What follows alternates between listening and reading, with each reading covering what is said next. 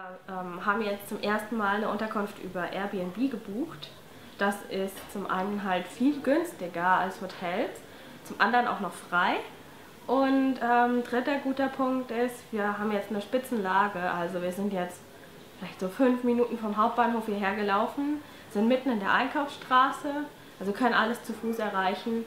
Ähm, bisschen komisch ist, wir sind bei Chinesen, die haben unten drunter noch ein Restaurant.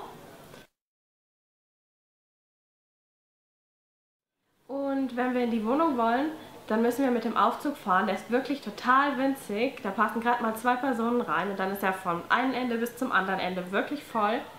Und ähm, da müssen wir so einen Schlüssel reinstecken. Und wenn wir den Schlüssel rumdrehen, das ersetzt quasi den Knopfdruck für das Stockwerk. Das ist also irgendwie nur privat zugänglich. Den Weg zeigen wir euch jetzt.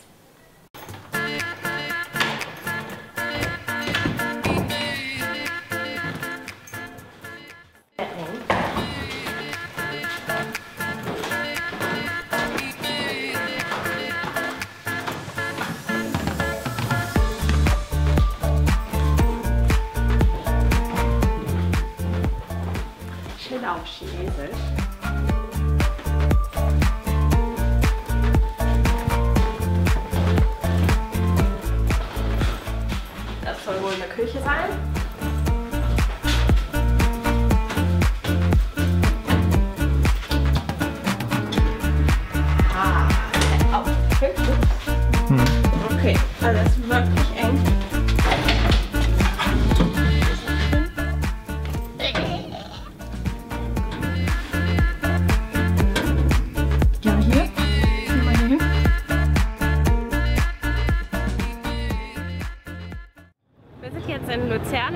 Innenstadt und hier hinter mir ist die Kapellbrücke.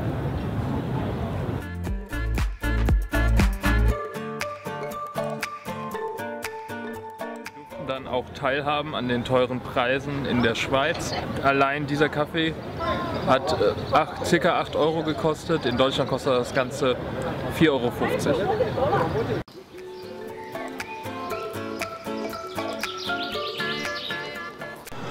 Hier gibt es ein Raclette-Öfeli. Das ist ungefähr so groß wie ein Pfännchen.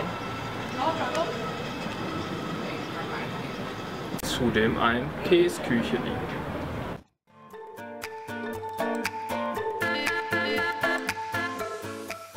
Wir haben gerade Fotos gemacht im Abendlicht ähm, mit hier der Kapellbrücke im Hintergrund.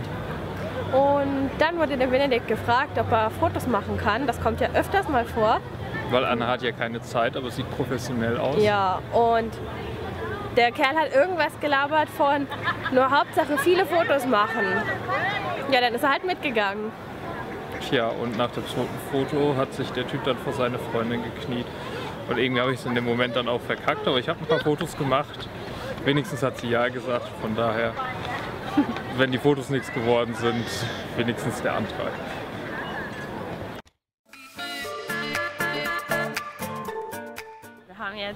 5.30 Uhr, hab den Benedikt aus dem Bett gescheucht und gleich geht die Sonne auf und hoffentlich sieht das ganz hübsch aus.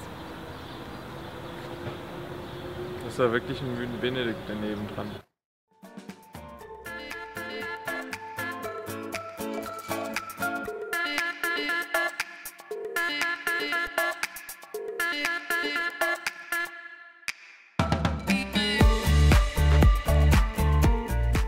Heute fahren wir auf den Frohnalbstock, der ist auf 1900 Metern.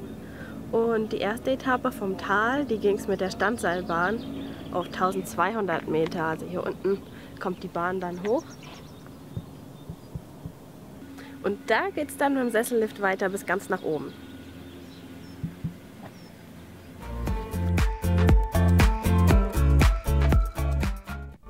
Wir sind jetzt ganz oben auf dem Berg angekommen.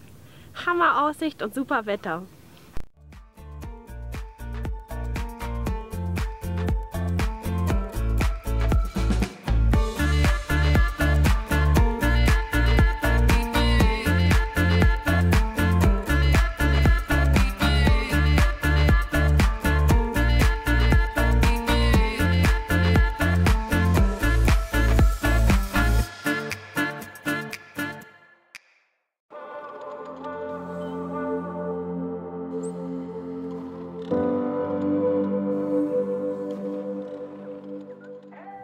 Gipfeln liegt sogar noch Schnee.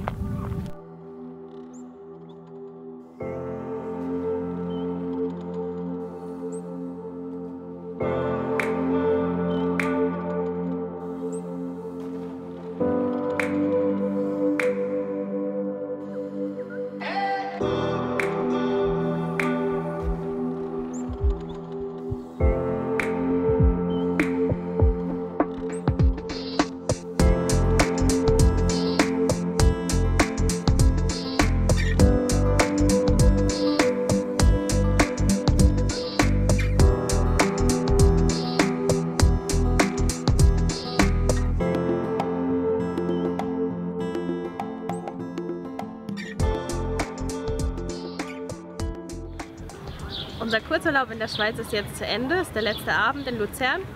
Eine schöne kleine Stadt, die man auch ganz gut in einem Tag besichtigen kann. Es reicht auch, weil es ist wirklich alles sehr teuer, mindestens mal doppelt so teuer wie in Deutschland. Ähm, dafür hat uns aber die Aussicht sehr gut gefallen und besonders auch die Landschaft oben auf dem Berg war super. Fotos davon sicher übrigens hier.